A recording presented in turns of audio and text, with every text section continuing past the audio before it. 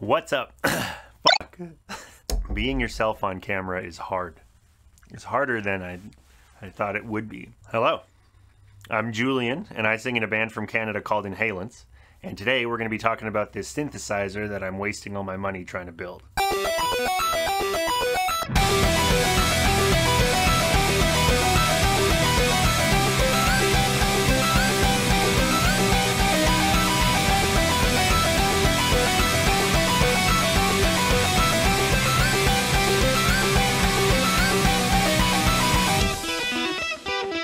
Last time I did a video, somebody in the comments said I act like I hate talking to the camera, so I'm gonna try to work on that this time. So we're a punk band from Canada that uses an old Game Boy from the 1980s as a synthesizer and an instrument. It's kind of our fifth member. It's a lot more reliable than the other four members. So essentially, this guy, Johan Kotlinski, has been working on this software called LSDJ for the Game Boy for like the last 20 years. It's a custom software that you load onto the Game Boy and it's a sequencer. So if you don't know how a sequencer works, it just lets you program the notes and then it plays it back for you. There we go, it got to focus. So this is all the programming for it. It's just text based and it plays back the audio that you program so you can design the sound wave and uh, and program all the note changes and everything in it like that. So if you're wondering why anyone would use an old Game Boy from the 80s as an instrument, the artifacts that come from using this old processor are pretty unique and it has a very distinct sound because uh, it only uses 8-bit audio. If you're interested more in the specifics of how this sound chip works, I did a video for it up here, I guess you can see. So in our case, the Game Boy plays a backing track into our drummer's ears. His name's Jordan. Uh, so he can hear how the song goes. And then it also plays leads out of the main PA speakers on stage where the vocals come out of. And then it also actually plugs into my bass amp uh, and takes over bass duty for me sometimes when we play live. So some songs I actually don't play bass at all and it's purely synth bass and it goes into my bass amplifier so it sounds like an actual bass guitar, which is pretty cool. It's a it's a pretty unique sound.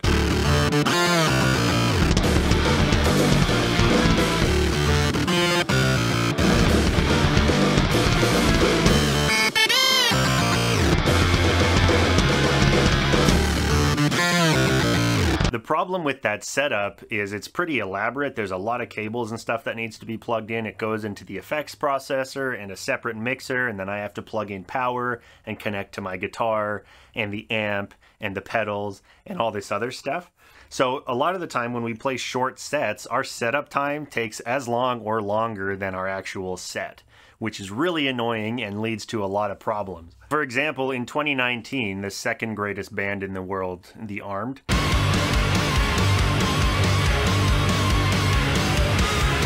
they were gracious enough to let us play their No Rest Fest in Detroit. We were on for like a 10 minute set. That's what we were supposed to play, just like all the other bands. But I drove three days up from Texas to Ontario. And then I drove another six hours from Ontario to Detroit with the band just so we could go play that 10 minute set. And it took us so long to set up that we had to go over our set time. So the drummer actually threw a, a bottle at me before we started our last song.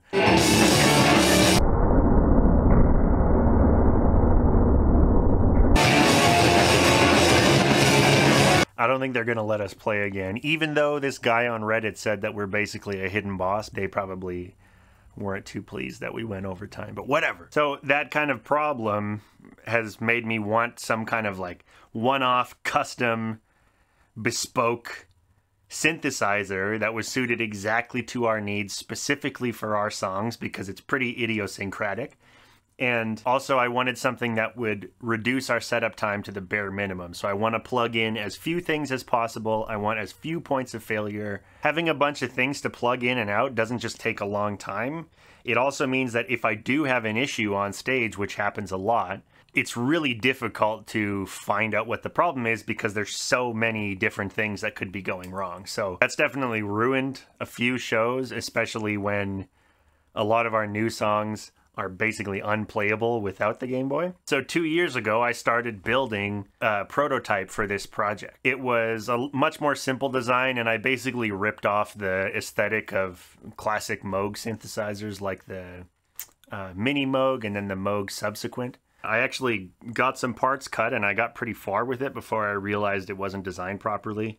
And I have a huge backlog of footage from building those components. So here I mounted the Game Boy on the actual plate. This controls the screen contrast and the Game Boy works.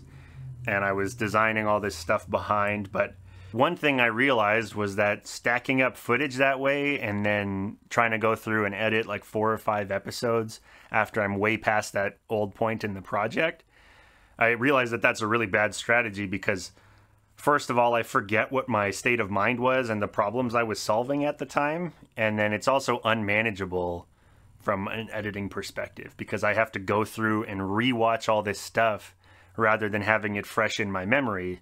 Normally, when I edit a video, I just recorded it or I've been working on it for the last few days and then it's all fresh in my mind so I understand what everything is. But when it happened, you know, a month and a half ago, I have to basically re-experience that whole day and sit through all of the footage. So I'm trying to be disciplined with releasing videos as they're relevant to the project. So I'm I'm working and then I'm releasing a video and I'm not going to move on to the next part of the project until I've done that video.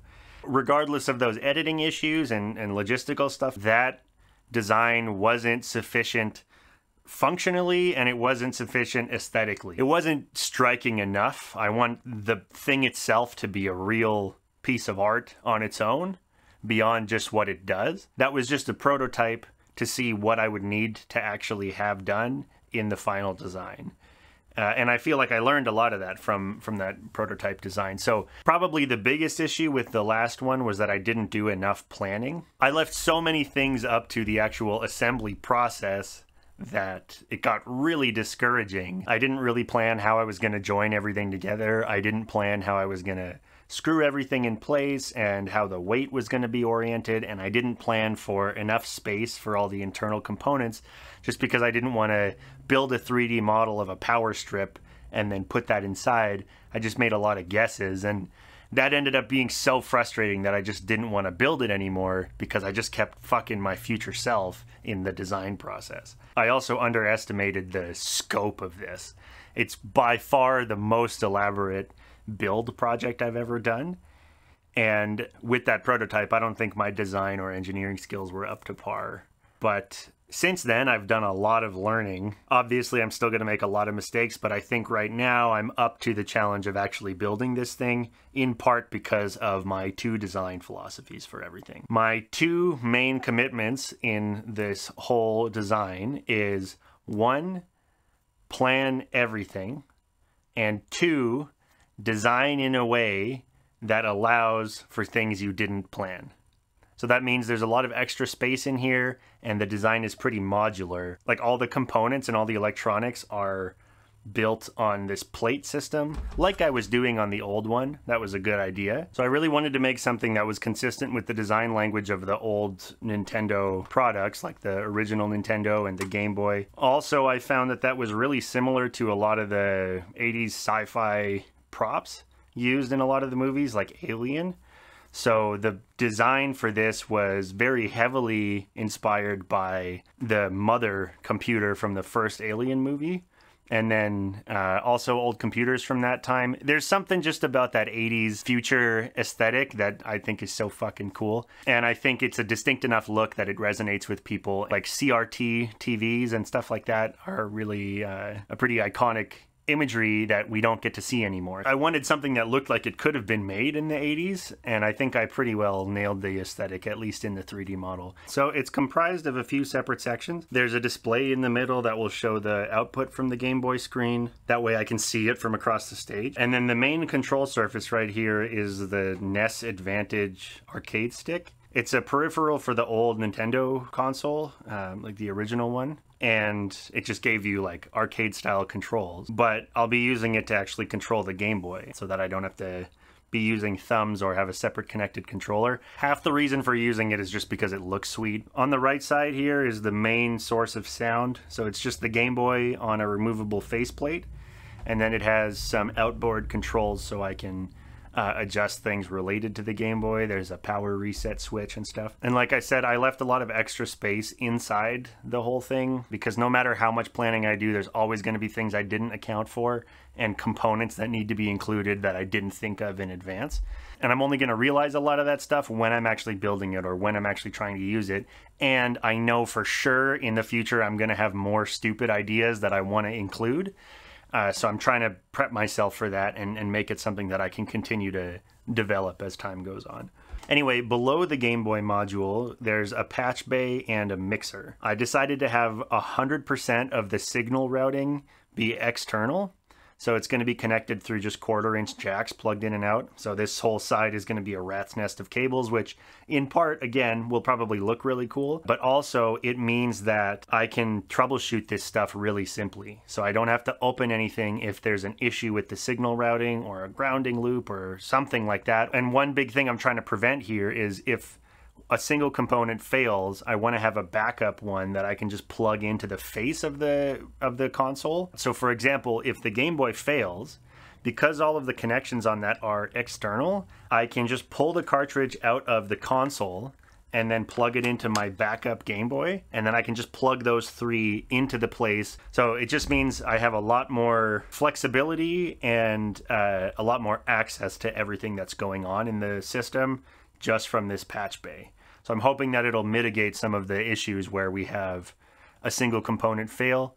Uh, if I need to, I can easily bypass the effects processor by just unplugging it from the front and plugging it straight into the mixer instead of having the signal go through the effects processor. So hopefully this will help me deal with problems that inevitably come up. And then down below the patch bay are some mixer controls, and then those buttons on either side are just power reset switches for the various components. And then this is cool. So underneath the display, it looks like there's controls for the display. The whole thing is based on these old Sony PVM CRTs. Uh, I was really trying to channel that aesthetic for the, the main display portion, but those controls are actually the front of my bass amplifier. So my bass amp is actually going to be in here because like I was saying earlier, sometimes the Game Boy plays bass. It also means that I have one single power supply for everything. So it's all going to be a single power cable powering my guitar, the pedals, the whole synth, and the amp.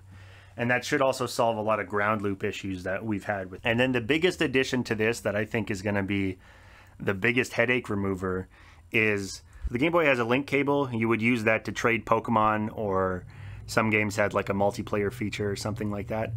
Um, but the software that I use, LSDJ, it uh, actually lets you send MIDI data over the link cable, which means you can instruct and program other devices using the song programming in the LSDJ song and it's all controlled by the Game Boy. It's all synced to the master clock in the Game Boy, so everything's in time.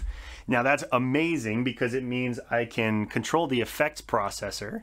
So I can switch effects if I want to switch to reverb or delay or like a low frequency oscillator or if I want to actually control the effects processor as its own synthesizer, I can do that all from the Game Boy without having to touch it at all. I can send instructions to a visualizer or our light show, which is going to be the first application of this MIDI functionality. And then also, instead of using a foot switch to switch between my bass guitar or the Game Boy, the Game Boy can actually switch instruments for me.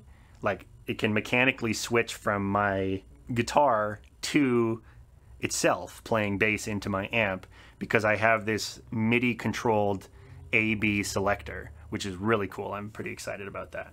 It means I never have to think about, okay, which instrument is playing when. I never have to make the mistake of going to play bass and realizing I forgot to switch back to the guitar from the Game Boy. Uh, so I'm thinking that's going to solve a lot of problems. So far, this has actually been like two months of full-time design work. I'm actually forcibly unemployed right now because of my immigration processing. I got married and I'm trying to get a green card and stuff. Suffice to say, I have a lot of time and I'm not allowed to do anything responsible. So I'm spending all that time on ridiculous projects like this.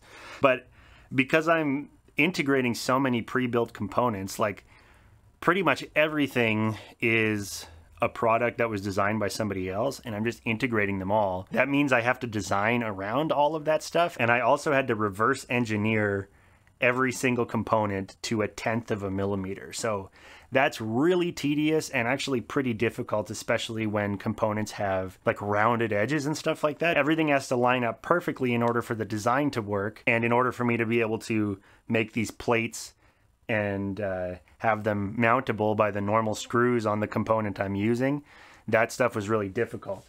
And for example, this is the effects processor. This is a really popular device. You've, mm, if you know anything about synths, you've probably seen this before. It's called a Kaoss Pad, but it's about two inches, well, one and a half inches thick, and I didn't want it just rising off the top of the console. So in order for it to actually get integrated properly into the synthesizer, I had to take it to a CNC milling place and get this whole edge ground down with a, a mill.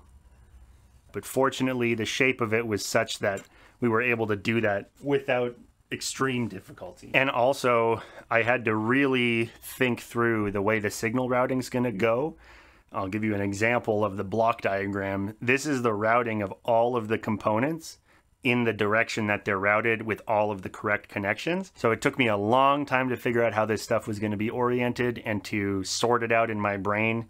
And there's a lot of separate devices that I had to integrate like isolators and all this stuff so that I have no issues at all. So I think it'll actually be pretty interesting. I'm really proud of the work that I've done so far. I really committed to learning everything instead of just coming up with workarounds. So uh, this has been a huge learning experience.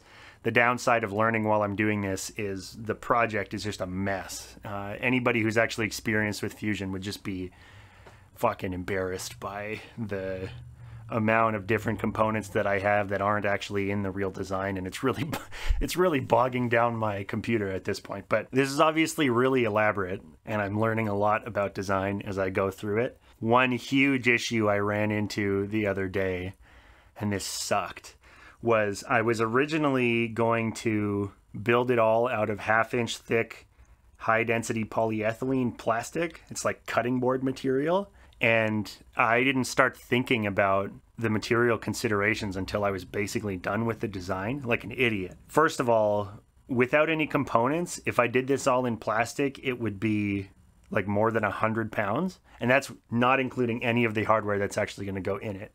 Also, you can't paint HDPE in a way that will stay. So I wouldn't be able to get the aesthetic that I wanted, like an old computer. So I'm going to have to go back to wood, is what I'm thinking right now. I'm still doing some research on materials, but I'm probably going to have to go back to wood so I can still get some strength and have it be lighter, still machinable, uh, but also paintable and finishable so I can get it to a nice finish. The cool thing about wood is if you finish it properly, you can make it look like it's not wood. So, for example, this guitar, you can't tell that it's wood. It could very easily just be like a hollow piece of plastic or or something like that. Um, and that's the finish that I'm trying to go for. Is I, I really want it to look like an old computer. Anyway, uh, that's about it. I think I've gone on long enough, but hopefully this is interesting. I'm gonna do probably two to three more videos about my design choices and uh, the specifics of what's going on with this thing. And then I'm gonna have the parts cut and uh, we'll go through the build process together. So uh, if you're interested, subscribe. And if you've got any questions or any advice, also would be good. Specifically, if anyone has any ideas about what materials I can use, right now this is designed for half inch.